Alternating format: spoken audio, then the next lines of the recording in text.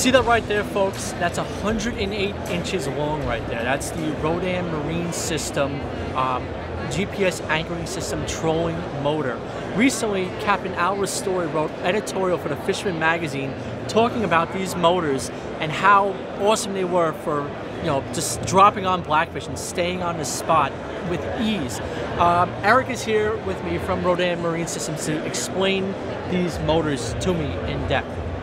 So we've got the new 108 that's going to be launching in Q4 this year. So towards the end of the year, we'll be coming out with it. What it's going to do is open up a whole other world for these upper 30 foot center consoles. Um, you know, it's going to give them more wave height that they're going to be able to handle while in rough conditions, uh, while still practicing that within three foot range of anchoring system on a wreck.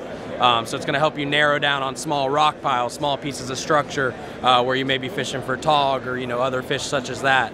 Um, so it really opens up a world for these big center consoles. Um, it's 108 inches of shaft. It's a 120 pound thrust motor. It'll hold a boat up to 15,000 pounds, which basically covers all your 39 contenders, yellowfins, etc.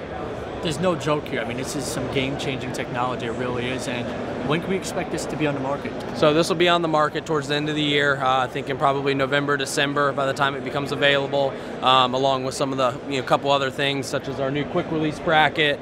Um, we've got some new uh, base cradles going on here. Um, and then we've already upgraded all the systems with the new clutch steering gear that everybody's been hyped about on the new 96 that was out last year. All right, this is some uh, real exciting stuff. Thank you for your time, man. Yes, sir. Thank you.